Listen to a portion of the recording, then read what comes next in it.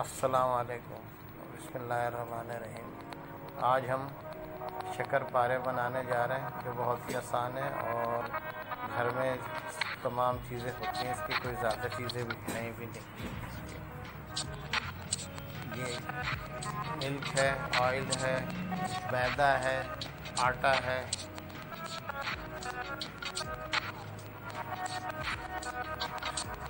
इसको मैदा आटे मिक्स करेंगे।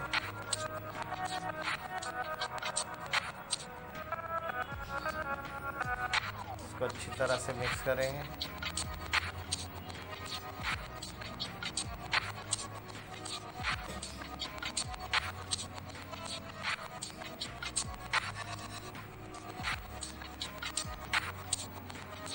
इसमें चीनी डाली, चीनी मिक्स की।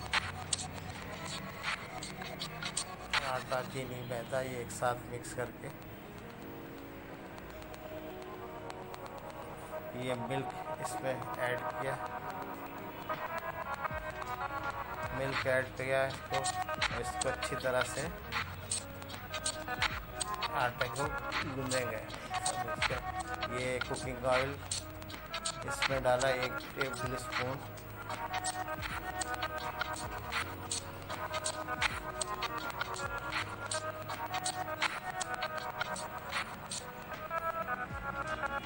आटा, मैदा, चीनी मिल्क और ऑयल कुकिंग ऑयल इलायची पाउडर ये मिक्स करके हमने इसको आटे को गूंद लिया और इसको थोड़ी देर के लिए छोड़ देते हैं ऐसे अब इसको बेल लेंगे। जिस तरह हम पराठे का आटा बेलते हैं, इस तरह से इसको बेल लेंगे। बेलने के बाद इसको जो है ना, नमक पाउडर की शक्ल में कटिंग कर लेंगे।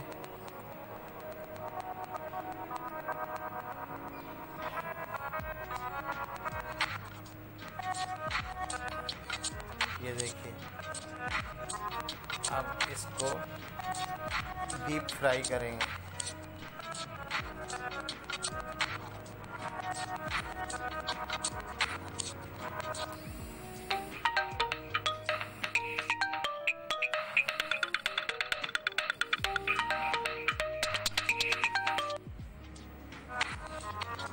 को डीप फ्राई करेंगे।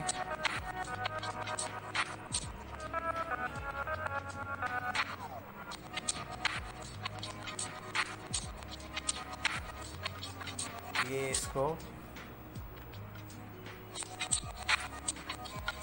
ये ऑयल से निकाल लिया बाहर।